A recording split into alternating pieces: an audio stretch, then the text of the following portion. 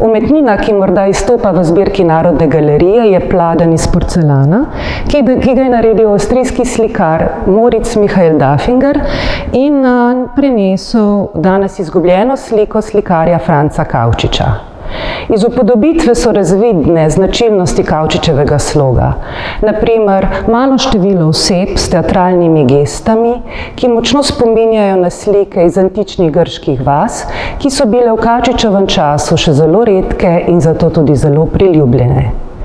Na pladnju je upodobljen motiv Kekropsove hčerke najdejo Erihtonija. To je motiv, ki je zelo redek v likovni umetnosti, povzema pa enega najstarejših mitov povezanih z mestom Atene. Namreč boginja Atena je v, v dvoboju s Pozejdonom si pridobila nadoblast nad Atiko. Trem hčeram mitskega atenskega kralja Kekropsa, Herzija, Glauri in Pandrozi, je zaupala v varovanje košaro in jim prepovedala, da jo odpirajo. Na pladnju je upodobljen trenutek, ko hčerke ne obogajo Ateninega ukaza in košaro kljub samo odprejo.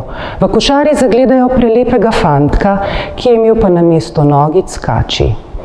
Tu upodobljeni motiv je povzet po Ovidijevih metamorfozah, ki navaja tudi, da so potem dve, da sta dve izmed hčera upoštevali Atenin ukaz, tretja pa ne, in da je novico Ateni prenesla vrana, ki jo vidimo upodobljeno v krošnji drevesa.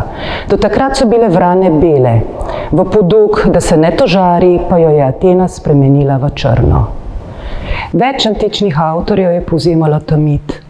In na koncu dodajajo, da so hčerke, ob tem, ko so odprli košaro, v grozi skočile z roba Akropole in se ubile.